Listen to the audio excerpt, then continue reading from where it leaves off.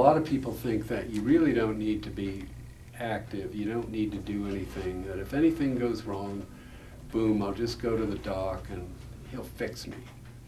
And this song gives you some of the disadvantages of thinking of, that drugs are going to solve all your problems, because I don't think they do. Oh, and, and yeah, Betsy's pointing to this. It's written by a local singer-songwriter that we know called, named Sandy Phillips. Cool. And she's a cool lady. So here's how it goes. Thanks, Sandy.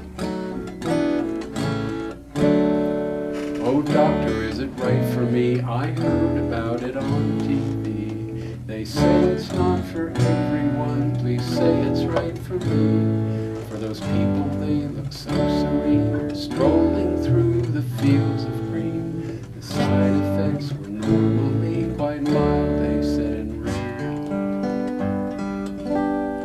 They said, tra la la la, you might get pain in your back, some flatulence and drawing perhaps a fatal heart attack, and tra la la, nausea, yawning and itching. You might get hoarse, and of course, there could be floppiness. Floppiness? Oh yeah, floppiness is the worst side effect you can get. Yeah, floppiness and twitching.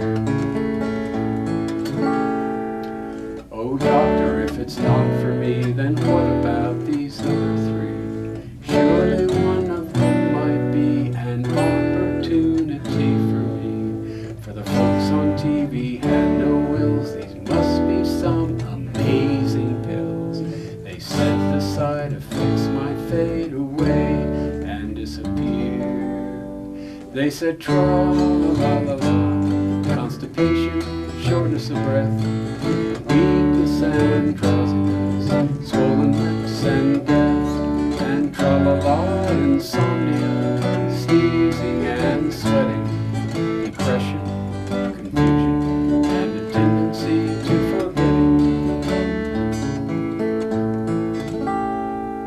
They said tra for night of slumber you are striving, you might be blessed with eternal rest if you go sleep driving. Here's the kicker. On second thought, I'll take my leave. For doctor, now I do believe these side effects don't sound so